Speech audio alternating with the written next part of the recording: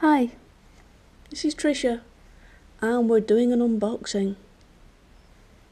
This one is an action camera from a company I'd never heard of either, Wimius. I think that's how you pronounce it, from China. Hey, 1080p, yep, that's full HD. It's got Wi-Fi. Oh, that's posh. That's groovy. Nice looking box. Lots of accessories by the looks of it. Let's check them out. Okay. First things first. There's a camera. Yep, looks like a camera. Standard GoPro mount. Looks like it's in a waterproof case. Let's have a look at it. Come on, out you come. Whoop. There we are. One camera and its mount. Ooh, nice. A destruction booklet. Where else is there? Uh, let's have a look.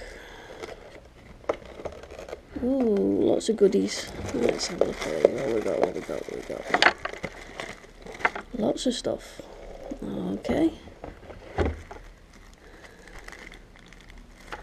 Straps for remotes and things, I think. I've never worked out how to use those.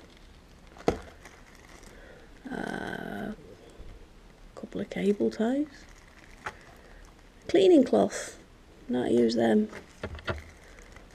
A back door with holes in. Gets a bit more sounding, but no good if you're going snorkeling.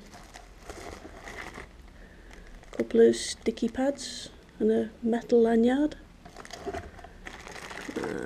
Bike mount, always useful.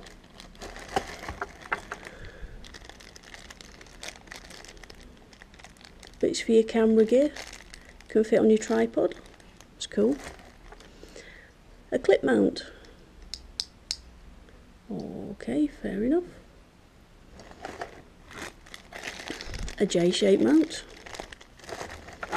Uh, these bits go together into something so it can go in all directions. It's good for putting on your bike mount when you work out how to put it together. That's one of those housings you can put just the camera in without its waterproof housing and still use it on a tripod. I like these. It's funky. More sticky pads and a couple of bases. Always useful. Okay, so there we are.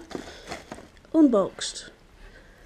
One camera with its waterproof housing, a charging cable and lots of gizmos to play with. Looks like I'm going to have to do a review after this.